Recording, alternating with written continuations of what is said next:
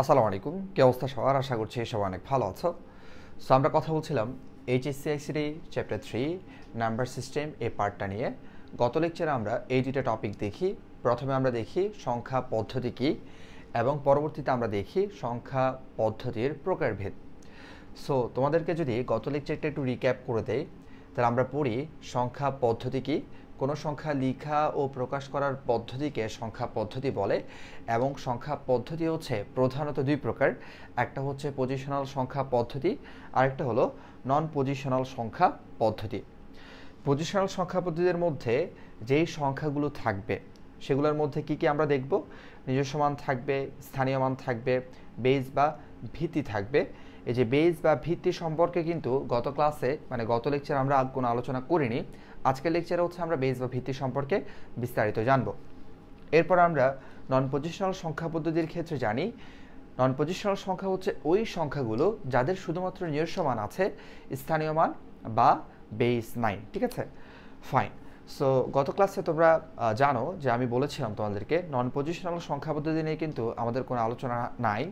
এটার উপরে কোনো আলোচনা হবে না। আমাদের যত আলোচনা হবে, সবগুলো হচ্ছে পজিশনাল সংখ্যা পদ্ধতি নিয়ে, ঠিক আছে? এটার প্রকারভেদ আছে, এটার কোনো প্রকারভেদ কিন্তু নাই। ফাইন তাহলে চলো শুরু করা যাক।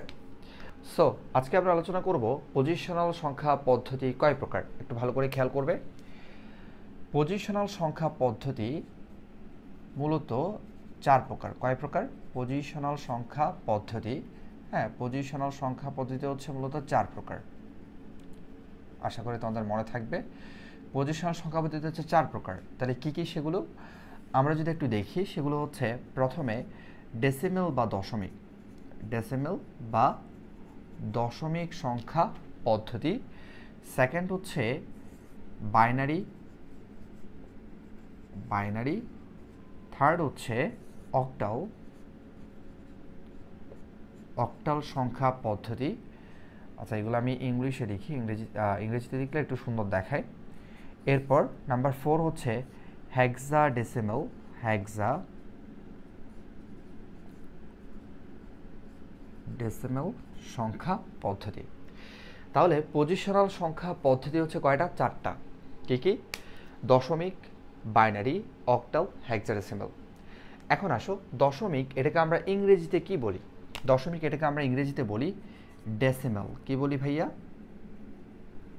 ডেসিমেল ফাইন বাইনারিকে জাস্ট আমরা বাইনারি বলি B I N A R Y binary all right অক্টালকে আমরা বলি O C T A T A L octal R hexadecimal hexa hexa means হচ্ছে ছয়, ঠিক আছে? এরপর ডেসিমেল ডেসিমেল মানে কত? দশ, এটাকে আমরা বলছি হ্যাক্সা ডেসিমেল সো দশমিক সংখ্যা পদ্ধতি, এটা আমরা কেন বলি? এটার কিন্তু একটা কারণ আছে। দশমিক সংখ্যা পদ্ধতির মধ্যে আমরা মূলত জিরো থেকে নাইন পর্যন্ত যতগুলো অঙ্ক আছে হ্যাঁ এগুলোকে আমরা ব্যবহার করে থাকি। তাহলে কি বললাম? এই যে দশমিক সংখ্যা পদ্ধতিতে আমরা জিরো থেকে নাইন পর্যন্ত মোট যতগুলো অঙ্ক আছে এগুলোকে আমরা ব্যবহার করতে পারব, তার বেশি কিন্তু আমরা ব্যবহার করতে পারব না। তার মানে জিরো থেকে নাইন বলতে আমি বোঝাচ্ছি তোমাদেরকে zero one two three four five six seven eight nine তার মানে জিরো থেকে নাইন পর্যন্ত যতগুলো অঙ্ক আছে, এগুলো দ্বারা গঠিত যে সংখ্যা, তাকে আমরা বলছি দশমিক সংখ্যা পদ্ধতি।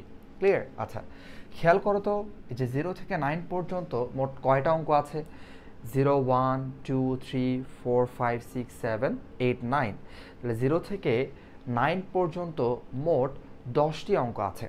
কয়টি? দশটি। হিসাব করো তুমি জিরো থেকে নাইন পর্যন্ত মোট কয়টি অঙ্ক আছে? তাহলে জিরো থেকে নাইন পর্যন্ত যেহেতু মোট দশটি অঙ্ক আছে, তাই এই দশমিক সংখ্যা পদ্ধতির বেস হচ্ছে দশ।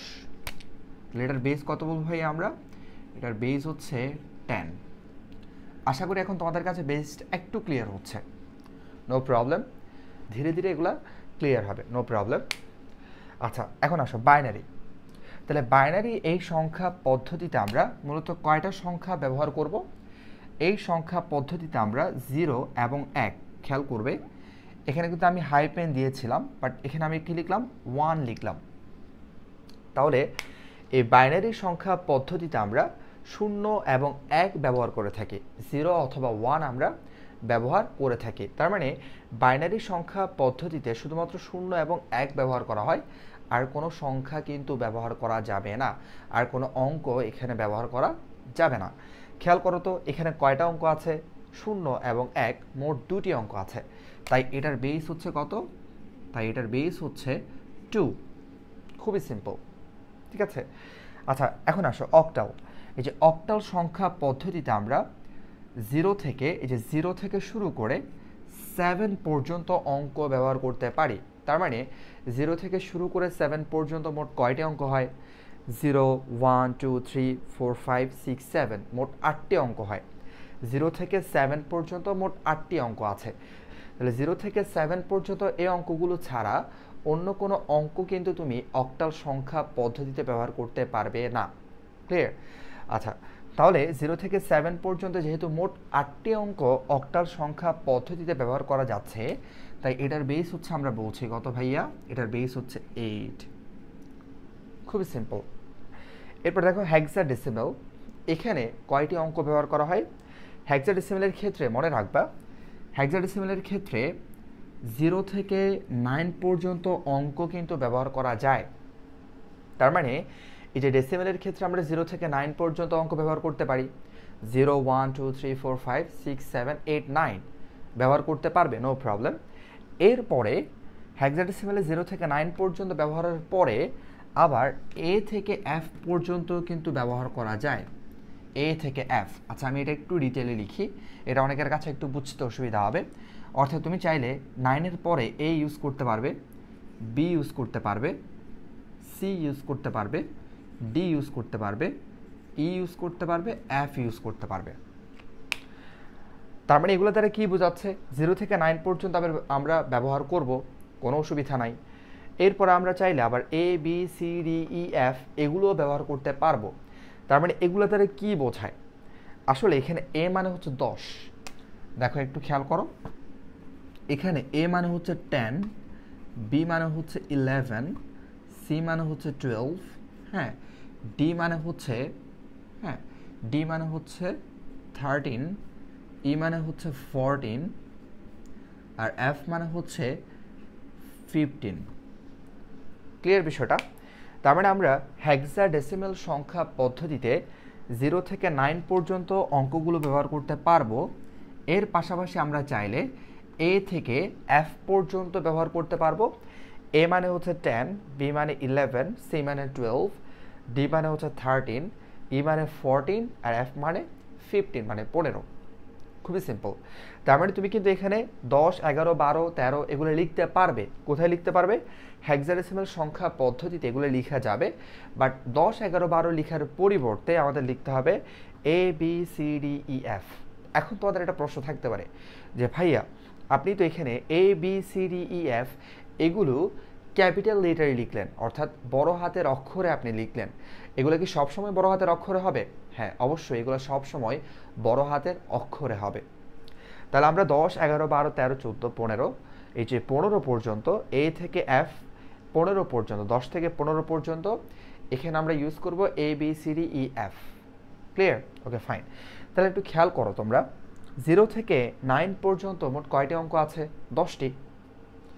আমরা আগেই জানি জিরো থেকে নাইন, এই যে দশমিকের ক্ষেত্রে দশটি অঙ্ক আছে, তাই এটার বেস হচ্ছে টেন সিমিলারলি জিরো থেকে নাইনের মধ্যে কয়টি অঙ্ক আছে?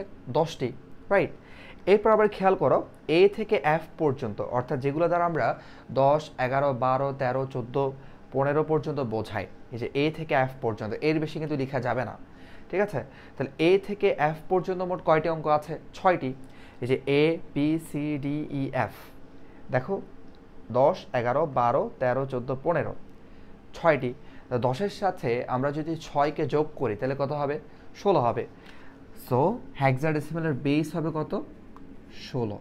মানে টেন প্লাস সিক্স হ্যাঁ টেন প্লাস সিক্স ইকুয়াল কত? ষোলো। সরি আমি ডিরেক্ট লিখি ষোলো। টেন প্লাস সিক্স যে জিরো থেকে নাইন পর্যন্ত টেন আর এ থেকে এফ পর্যন্ত হচ্ছে ছয়।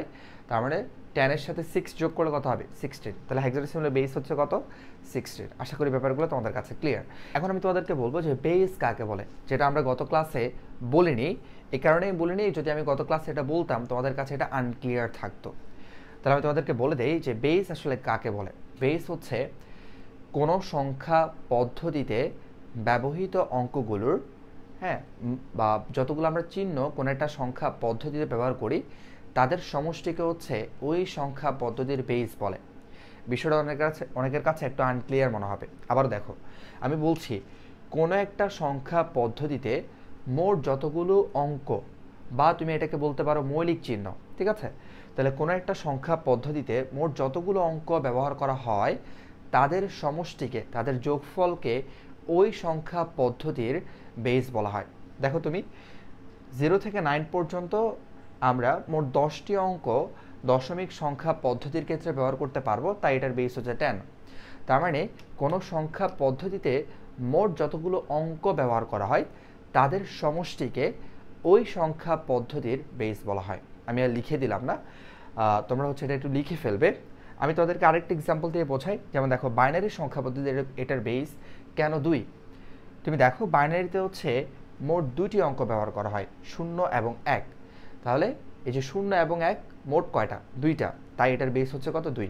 তার মানে তুমি বলবে কোনো সংখ্যা পদ্ধতিতে মোট যতগুলো অঙ্ক ব্যবহার করা হয় বা যতগুলো মৌলিক চিহ্ন ব্যবহার করা হয়, তাদের সমষ্টিকে ওই সংখ্যা পদ্ধতির বেস বলে।